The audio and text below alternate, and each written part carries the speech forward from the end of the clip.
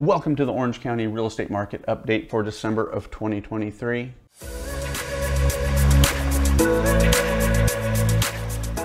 And if we haven't met, my name is Nathan Necochea. I'm a realtor here in Orange County. All right, so we're gonna get started with some of the market trends, the key details to see where we're at here in Orange County to start off December. All right, we are still squarely in a seller's market, and that's based on the fact that we have less than a month and a half of inventory. Now, you may already know this, but what that means is that if no new listings come onto the market, all the homes in Orange County would be sold in less than a month and a half. The next key detail that we want to jump into is the list to sold price percentage.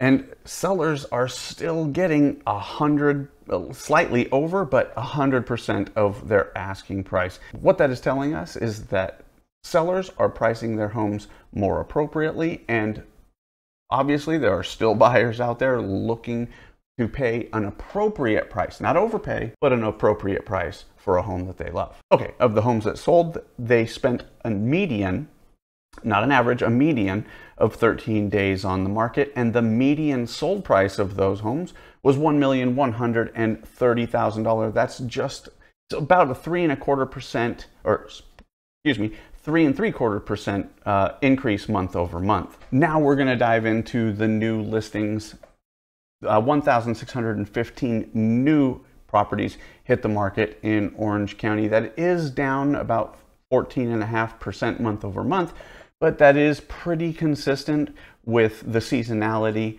Um, we tend to see new listings begin to decline from November, December, and then and even partially into January. What I'm curious about is with interest rates starting to to trend downward. I'm curious to see if at what percentage rate that it, it's it will make more sense for sellers to get into the market if they've been waiting for a particular rate to allow them to either move up or move down. And then we're going to jump into active listings. There were at the end of uh, November, there was 2,244 homes available for sale in Orange County.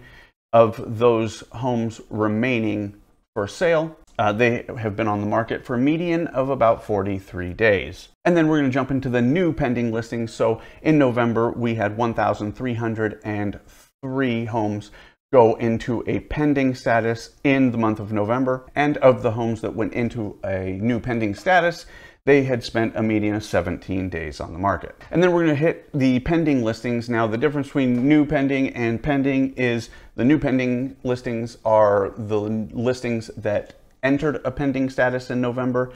Pending listings are all homes that remained in a pending status at the end of November. So at the end of November, we had 1,497 homes in a pending status. That is down about 7.5%. Again, that it does seem to coincide with the seasonality, just the time of year, and it is the typical seasonal trend. And sold listings. So, what sold in Orange County? Well, we had 1,345 homes close escrow in November. That is down about 13.5% month over month. All right, so that is November in a nutshell in Orange County. What do you think about the housing market? Personally, I think that we're actually doing better than expected.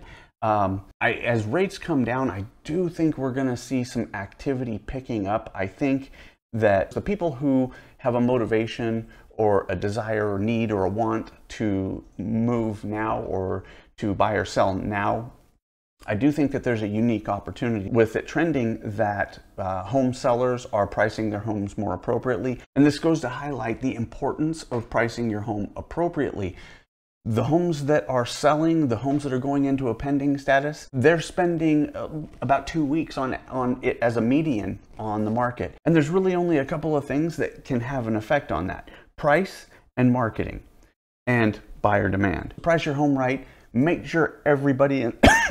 so, price your home right, make sure everybody and their brother knows it. And if you're a buyer, take a look at these homes that have been sitting a little bit longer on the market you might be able to find an opportunity there. All right, those are just my thoughts. I would love to hear yours. Leave me a comment or a question down below.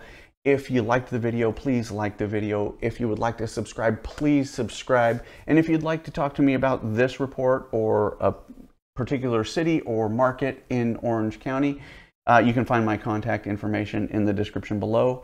Thank you so much for joining me, and we'll see you next